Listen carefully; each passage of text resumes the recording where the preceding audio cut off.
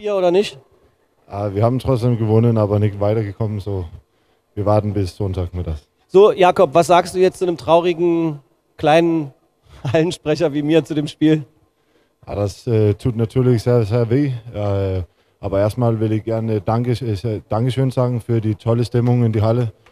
Das war wirklich, wirklich geil, äh, hier heute zu spielen. Ähm, ich denke, dass wir, wir als Mannschaft haben, haben wirklich alles gegeben. Die Einstellung war genau da. Äh, leider haben alles nicht geklappt auf dem Spielfeld und deswegen haben wir nur mit zwei Toren gewonnen. Aber ich bin trotzdem stolz, dass wir haben sechs Minuten gekämpft, trotz ein paar Fehler und, und so.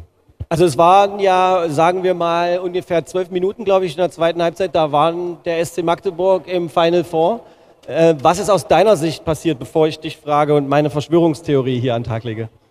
Ah, das ist schwierig zu sagen, so kurz nach dem Spiel, aber äh, vielleicht waren wir ein bisschen müde am Ende, weiß ich nicht. Ähm, ich denke, dass wir haben unsere technischen Fehler in zweiter Welle verbessern. Äh, gegen Göppingen auswärts haben wir viel Fehler da gemacht. Und das war nicht äh, der Fall heute, ein bisschen weniger. Das haben wir gut gemacht. So, das ist schwierig. Das war die Kleinigkeiten, dann Pfosten raus und nicht Pfosten drinnen und dann liegt das äh, schnell ein Gegentor.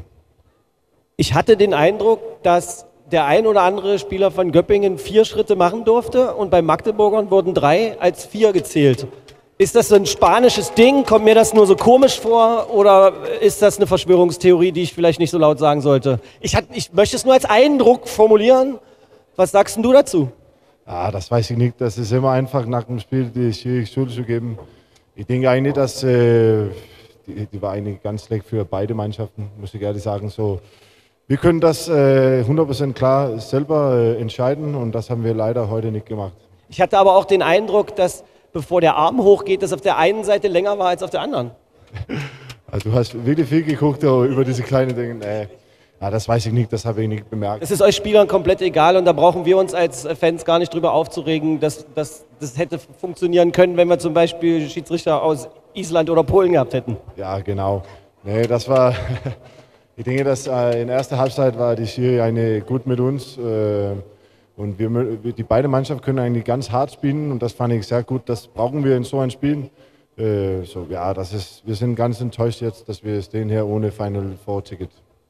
Ähm, kann man dieses Spiel jetzt innerhalb der Mannschaft für den Kopf so benutzen, um zu sagen, hey, es funktioniert, wir können das als ein, wir haben Energie getankt und äh, wissen, dass der ein oder andere Spielzug funktioniert, Motivationsspiel fürs Final Four benutzen? Ja, klar, das finde ich. Äh, also ich finde, wir haben sehr stark gekämpft heute und eine, viele Dinge richtig gut gemacht. Äh, Abwehr hat meistens sehr, sehr stark gestanden. Die zweite Welle war viel besser.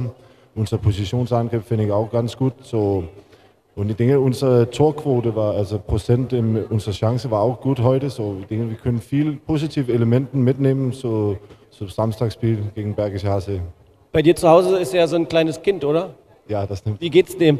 Ja, sehr schön. Sie ist ganz nett im Moment, so, das ist äh, perfekt. Kannst du sie kurz an der Nase streicheln die nächsten Tage, um dann noch ein bisschen motiviert dann nach Hamburg zu fahren? Sie ist mein kleines Glückskind.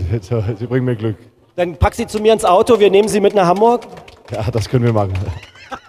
er hat ja gesagt. Also wir nehmen dein Kind mit nach Hamburg. Können wir meins auch gleich noch mitnehmen. Das wird vielleicht schön. Würdest du ähm, mir persönlich, weiß ich, kann mir vorstellen, dass der eine oder die andere da auch das gut fänden, Könntest du uns versprechen, dass ihr alles gebt, um ins Finale zu kommen? Natürlich, so wie letztes Jahr geben wir alles und mit die fantastischen Zuschauer da in, in Hamburg kommen, dann denke ich, glaube ich auch, dass wir können das nochmal erreichen, ins Finale zu kommen und dann machen wir das letzte Schritt. Dann bitte zu uns auch den Gefallen, allen Spielern nochmal einen kleinen Klaps, egal wo ihr euch so Klapse hingebt. Ich weiß es nicht, ist es besser bei Spiel auf dem Hintern oder auf dem Rücken? Wie ist das so? Na, das weiß ich nicht. Das ist schwierig zu sagen. Ich habe wieder versucht, so kleine Geheimnisse herauszufinden. In Magdeburg sagt man ja Geheimnisse, aber ähm, es hat nicht so richtig funktioniert. Jakob Baggerstedt, großer Kämpfer, genauso wie alle heute. Das kann man auf jeden Fall mit Fug und Recht sagen. Vielleicht ist es wirklich heute noch eine kleine traurige Träne, aber dann in Hamburg können wir dann alle ganz großartig feiern. Wir müssen einfach weiter dran glauben und das haben Sie heute extrem bewiesen. Vielen Dank. Das Publikum ist auf jeden Fall der King heute gewesen. Dankeschön, Autogramme, Fotos, los geht's. Und das Bier nehme ich dann mit? Ja, das kannst du nehmen. Ich kann es auch hier brauchen. Ich gebe es den Chiris aus. das ist ganz geil.